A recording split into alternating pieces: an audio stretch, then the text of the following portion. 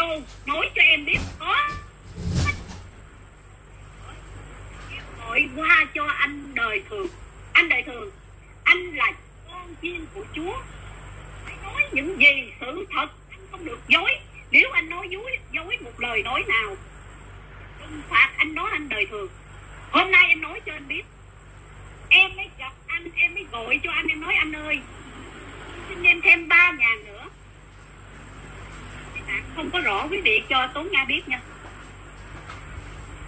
Anh cho em thêm à, chị Ngô Quân xin anh thêm ba ngàn nữa. Thì anh đời thường mới chửi chị Ngô Quân. Đó là cái hạng gì cái lỗi gì? Xin tiền người ta hoài vậy làm với thích hay là đi lợi dụng người ta? Lời lẽ của anh đời thường nói chị Ngô Quân.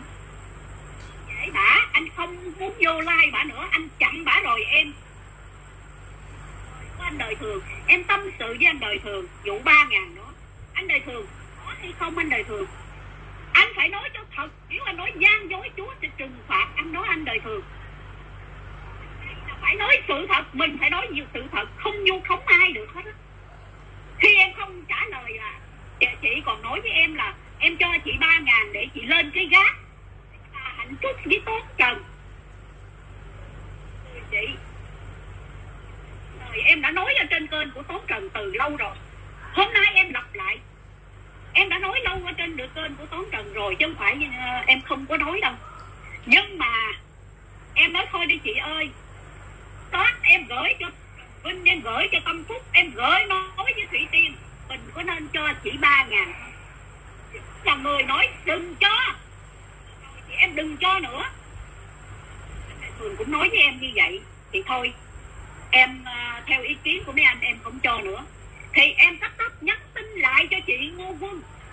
Đừng lên cái gác nữa em thấy như vậy ở là được rồi.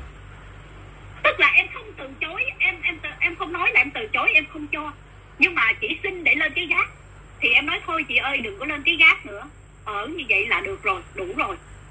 Đó đó là câu từ chối khéo của em với chị Ngô Quân.